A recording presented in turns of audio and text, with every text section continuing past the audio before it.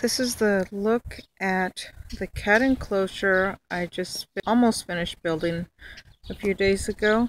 It's 8 foot tall, about 20 foot long, and 8 foot wide. The door itself stands at 6 foot 2 for easy access and each panel is an 8 foot by 8 foot panel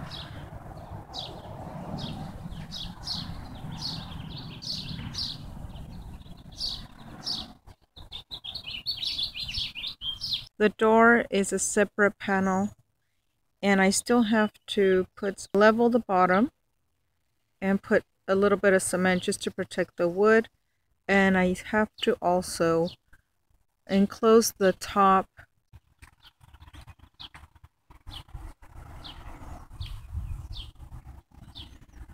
The enclosure is surrounding a black walnut tree has a very nice bark structure on it.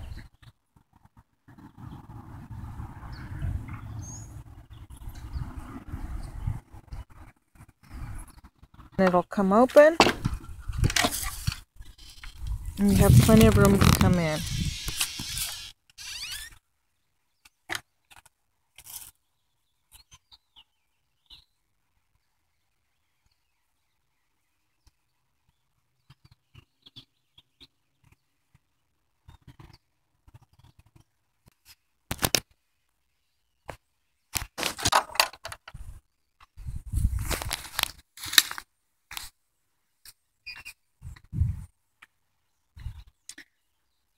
So that is my cat enclosure.